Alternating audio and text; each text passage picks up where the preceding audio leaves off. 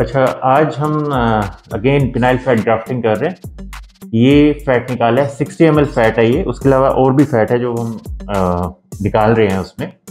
तो अंदाजन 80 एम डालेंगे हम। वो मैं कई बार बता चुका हूँ कि थोड़ा सा एक्सेस होता है 50 एम से ज़्यादा की ज़रूरत नहीं होती, लेकिन हम थोड़ा एक्स्ट्रा डालते हैं।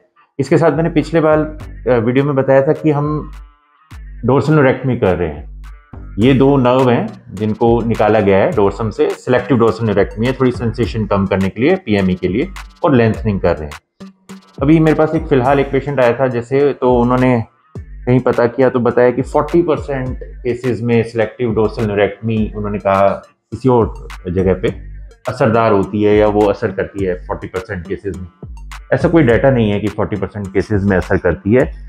अभी फ़िलहाल जो मैंने जर्नल में पढ़ा था, वो है कि अगर उसमें देखा गया कि मेजोरिटी ऑफ़ पेशेंट्स थे, उनमें सिलेक्टिव डोर्सल न्यूरेक्टमी के साथ फिलर भी ऐड किया गया तो उन्होंने देखा गया पेशेंट की एवरेज जो टाइमिंग थी, वो 30 सेकंड से ढाई महीने बाद, ढाई से तीन महीने बाद पाँच मिनट की होगी।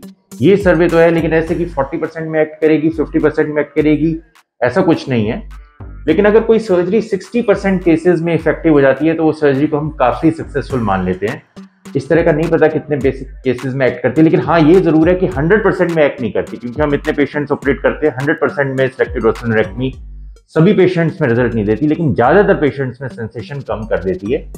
क्योंकि जब हम पीएमई को खासतौर पर ट्रीट करते हैं तो उसके अलावा पीछे फ्रेंडलम के पास भी नर्व होती है, कुछ लोगों में मसल कंट्रोल कम होता है, कुछ लोगों में साइकोलॉजिकल होता है तो और भी रीजंस होते हैं।